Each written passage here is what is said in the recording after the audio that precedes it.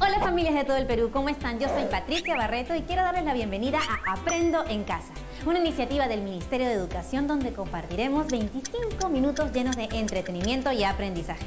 Despertemos todos nuestros sentidos, activemos nuestra mente, que comenzamos. Hemos preparado este programa para ustedes chicos de tercero, cuarto y quinto de secundaria. Si tienes algún amigo, algún primo, algún familiar que esté viviendo contigo, vamos, invítalo a participar. Pero eso sí, recuerda siempre lavarte las manos y limpiar todo lo que vayamos a usar. ¿Ya estamos todos juntos? Perfecto. ¿Sabes qué conoceremos hoy? Bueno, hoy aprenderemos a descubrir el tema y la idea principal en textos escritos a partir de hacer inferencias. Antes de iniciar, quiero contarte que necesitaremos algunos materiales como hojas de papel, lápiz o lapicero y revistas y periódicos variados. ¿Ya tienes los materiales? Perfecto. Ahora quisiera contarles algo. Cuando hablamos de hacer inferencias, pueden surgirnos muchas preguntas y podemos tener un gran signo de interrogación en nuestra cabeza. Pero en realidad, todos nosotros estamos constantemente haciendo inferencias y las usamos todo el tiempo. ¿Te ha pasado que cuando hablamos con nuestras amigas o nuestros amigos sobre algún hecho inesperado o sorprendente, que no sabemos qué es lo que pasó, empezamos a buscar pequeñas pistas para llegar a una conclusión? En ese momento no le prestamos atención. Sin embargo, al ocurrir este hecho inexplicable e inesperado, empezamos a conversar y repasar minuto a minuto algo que pueda darnos indicios de lo que estaba por venir. Haz un poco de memoria y trae a tu mente alguno de estos hechos donde pusiste en juego tu intuición, tus propias ideas y a partir de experiencias similares llegaste a una conclusión. Pues bien, el día de hoy aprenderemos que realizamos inferencias por inducción a partir de nuestras experiencias personales y también podemos realizar inferencias por deducción a partir de una teoría. Entonces, con estas hipótesis o certezas, identificaremos la idea principal implícita o explícita de un texto. Después de la pausa veremos un video donde Vanessa y Marco nos presentarán información interesante sobre las inferencias e ideas principales. Ya volvemos, no te vayas.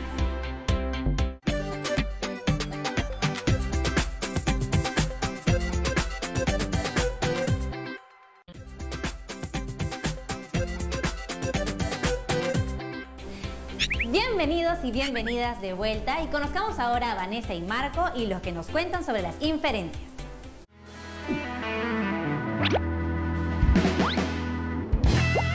¿En serio? ¡Qué genial! Bien, muchas gracias. Ok, hasta luego.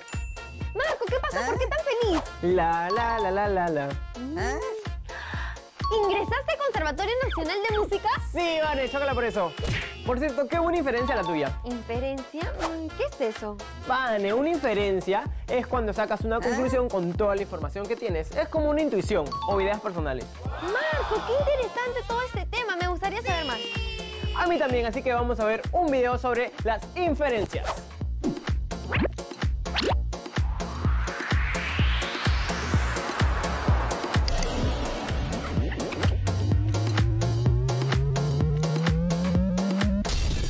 No creas que todo el contenido de un texto está 100% explícito o a nuestro alcance. Nada que ver.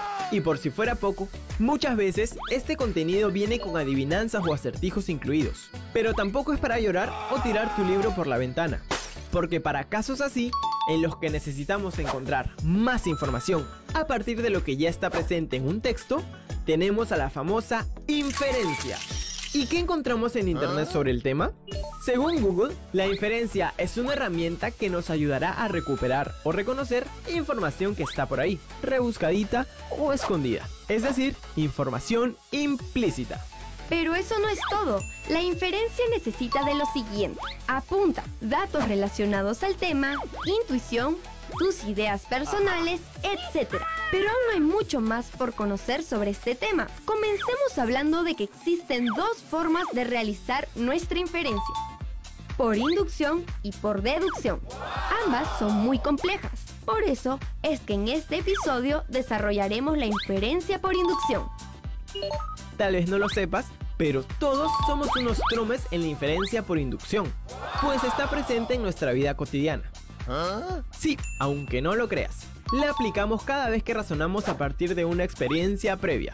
Imagina que cuando realizamos una inferencia inductiva, partimos de una experiencia o mensaje particular a otro de mayor magnitud o general, pero no te emociones y generalices a partir de un solo dato o experiencia. Recuerda que siempre es bueno investigar.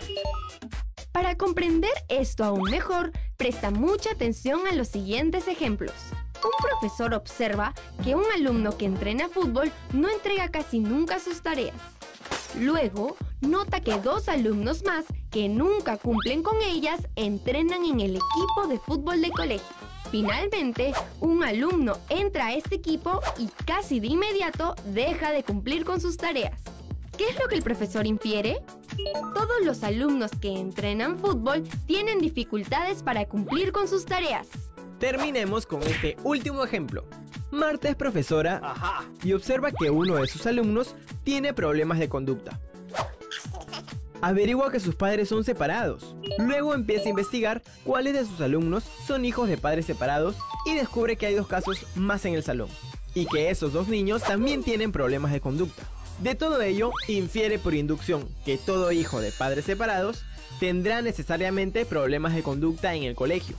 Podemos decir entonces que la inducción es una especie de generalización.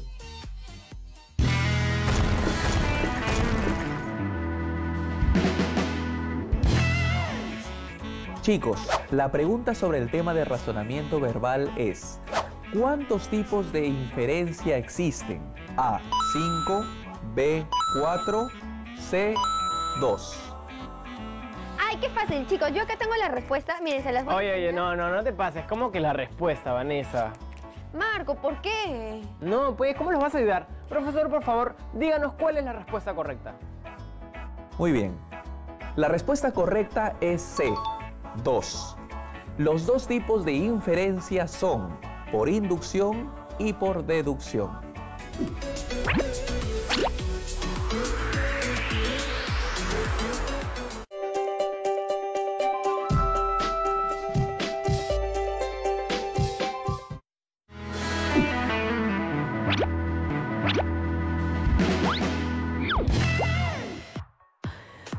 Marco, ¿qué pasó? Estás súper triste, ¿verdad?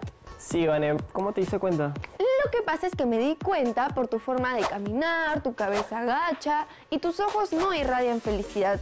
Algo te pasa, ¿verdad? Sí, lo que pasa es que mi perrita estaba un poco enferma, entonces eso me tiene así. Ay, no te preocupes, Marco. Luego la llevamos al veterinario, yo conozco uno muy bueno y todo va a estar bien. Gracias, Vane, por eso eres una de mis mejores amigas, porque siempre te das cuenta de lo que me pasa. Sí, y aunque no me dijiste nada directamente, lo deduje por la forma en la que estabas.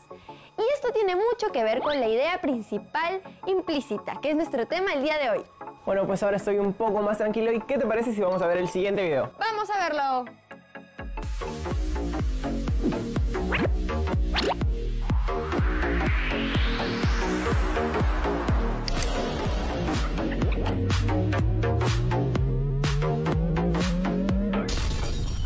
¿Sabes qué es una idea principal implícita? ¿No? Tranquilo, yo tengo la respuesta. La idea principal implícita es aquella que no está directamente expresada en el texto ni en lo que decimos. Es decir, está ahí dando vueltas aunque no la veamos. Es por eso que necesitamos inferirla. A ver, imagina que María llega del colegio a casa muy pensativa y apenas saluda a su madre. Se sienta en la mesa, come pero no habla. Entonces su madre asombrada le pregunta, ¿qué pasa María? A lo que ella responde, nada malo, y sigue comiendo muy callada. Minutos después, Cristina, su madre, llega a la conclusión de que María se encuentra muy preocupada. Esta conclusión es el resultado de un proceso de inferencia. Y como te habrás dado cuenta, se trata de la idea principal de nuestra historia. Solo que nunca fue muy obvia. Por lo tanto, es una idea principal implícita o sobreentendida. Por lo general, nuestra idea principal implícita puede y debe ser expresada en tan solo una sola oración, por más escondida que esté. De esta forma, las demás ideas de nuestro mensaje tendrán sentido. En el ejemplo anterior, la misión de encontrar nuestra idea principal no estuvo tan difícil. Solo tuvimos que utilizar nuestra intuición o experiencia, pero no siempre es así. ¿Qué ocurre en el caso de un texto científico, histórico o noticioso? En casos como este, necesitaremos leer cada párrafo, resumir, releer o buscar palabras claves. Estas últimas serán las piezas de nuestro rompecabezas, que al armarse formarán esa nueva oración, que no es otra cosa que la idea principal implícita. Esto dependerá de la información explicada en cada texto, pues no existe una fórmula exacta. Para que lo entiendas mejor, vamos con otro ejemplo. La minería en el Perú, una de las principales actividades productivas del país, mantiene un ritmo de crecimiento sostenido en los últimos años. Igualmente, el sector construcción genera una oferta laboral cada vez más amplia. Además, la agricultura, cuya tasa de crecimiento es mayor año a año, alcanza récords de cultivos destinados a la exportación y se ha convertido en una importante fuente de divisas para nuestro país. Bueno, en este párrafo, la oración principal no aparece a simple vista. Es decir, no está de manera explícita. Así que debemos descubrir cuál es la idea principal. El primer paso será leer e identificar los conceptos presentes en cada párrafo. Si el texto presenta un grupo de oraciones relacionadas por un tema en común, podemos proseguir. Ahora buscaremos las palabras clave. En este caso son minería, construcción y agricultura. ¿Y a qué grupo pertenecen estas tres ideas?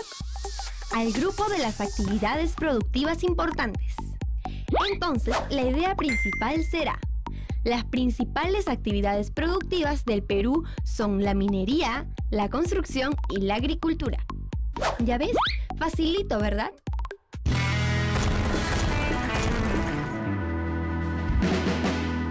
Chicos, les traigo la siguiente interrogante.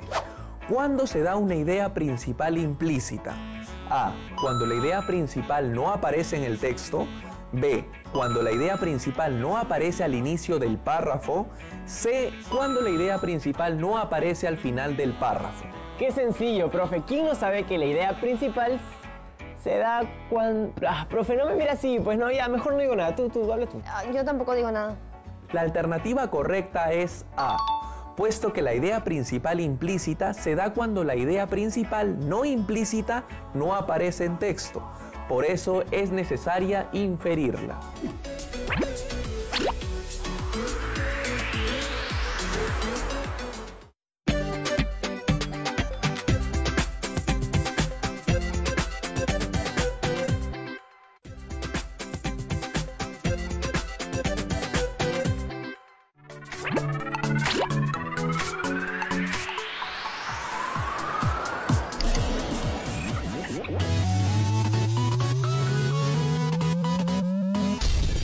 Antes de comenzar de lleno con los ejercicios, te refrescamos un poco la memoria.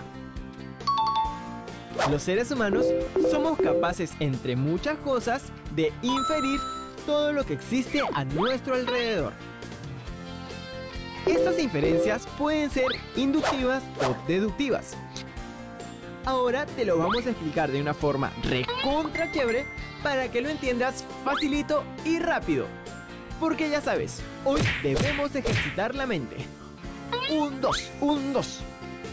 La inferencia inductiva está presente en nuestra vida cotidiana cuando razonamos a partir de alguna experiencia.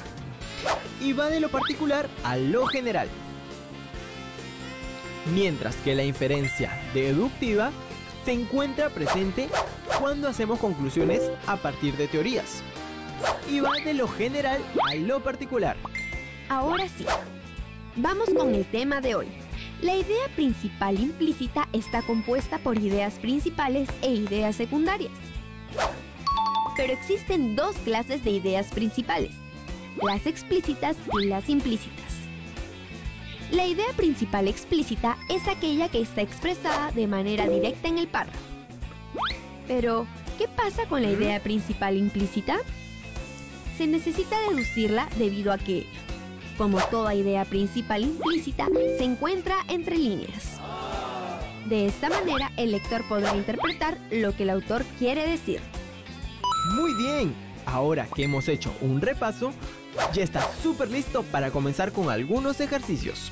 Comencemos con la inferencia por inducción. Primer ejercicio. Brasil, Uruguay y México devaluaron su moneda y sus exportaciones aumentaron. Argentina devaluó su moneda. ¿Cuál es nuestra inferencia inductiva? Facilito. Que el país de Argentina también aumentará sus exportaciones. Vale decir que de casos particulares se infiere una ley general y es probable que se cumpla. Pero, ¿podemos estar seguros? A decir verdad, no tanto. Solo se trata de una probabilidad. Sin embargo, esto no pasa con la inferencia por deducción. Con esta inferencia sí estamos recontra seguros de nuestros resultados.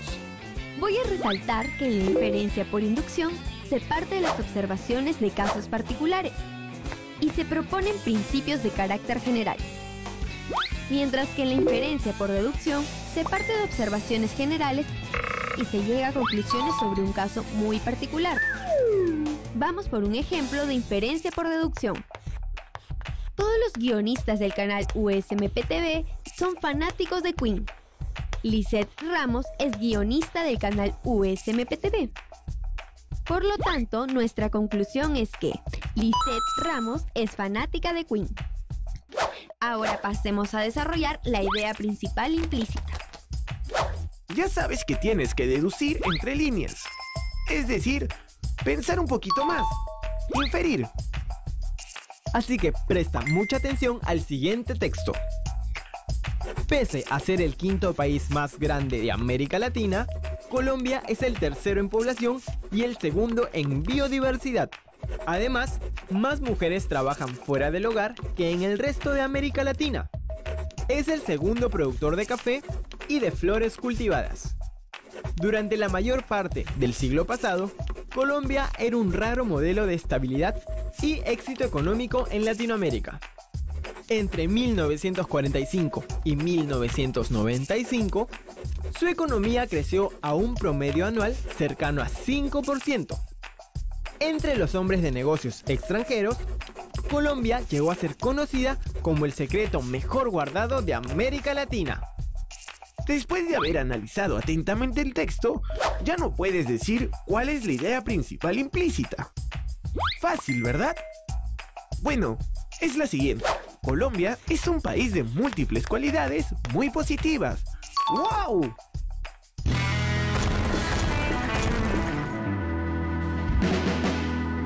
Ya ejercitamos bastante nuestra mente con las inferencias y al igual que con los anteriores videos, necesitamos cerrar la idea con una pregunta, así que atentos. Espero que les vaya bien. La inferencia por deducción parte de A. Información general. B. Datos particulares. C. Información específica. Estoy segura que la respuesta correcta es la alternativa B. Si tú estás segura que es la B, yo estoy muy seguro de que es la opción A. ¿Y ustedes ya tienen la respuesta en casa? Por acá nos dicen que es la C, pero creo que nunca nos vamos a terminar de poner de acuerdo, Marco. Entonces escuchamos al profe. La respuesta correcta es la alternativa A. La inferencia por deducción parte de información general para después llegar a una conclusión en particular.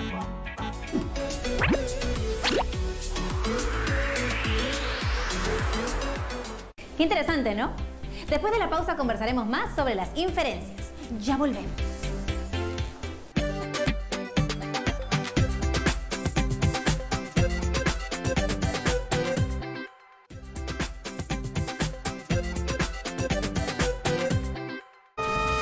Ya volvimos. ¿Qué les pareció el video? ¿Se acuerdan que al inicio cuando escuchábamos la palabra inferencia era como un ja? Bueno, las inferencias las utilizas todos los días, cuando conversas con tus amigos, con tus amigas, con tu familia.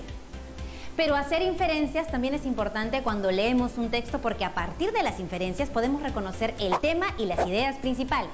Mm, en realidad, siempre supiste que era una inferencia, solo que hoy hemos visto que hay tipos de inferencia. Aprendiste a relacionar el concepto y ahora vamos a usarlo para poder identificar los temas e ideas principales en los textos que leamos. Perfecto, ahora ustedes. Ahora que estamos en casa, hay que organizarnos y darnos un tiempo para leer y realizar actividades. Busca primero un lugar en tu casa que será tu espacio de trabajo, el espacio que tú desees.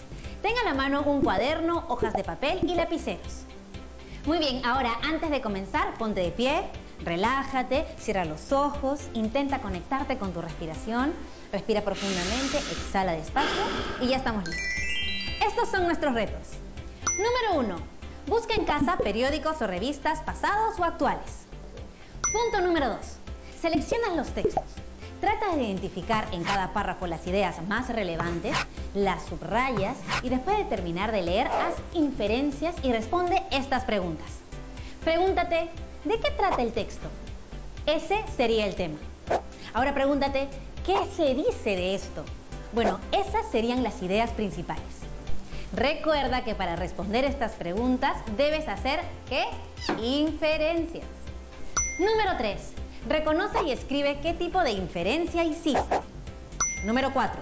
Guarda tu trabajo en un folder que será el portafolio donde archivarás las evidencias de tu trabajo y tu aprendizaje. Y punto número 5, este texto lo puedes acompañar de un dibujo. Pega, pinta, recorta, decora a tu gusto. La idea es divertirse. Así que anima a tu familia a participar de este reto. Recuerda siempre que no estás solo, que si necesitas hablar, hazlo con un adulto de confianza. Nos vemos mañana en otra edición de Aprende en Casa.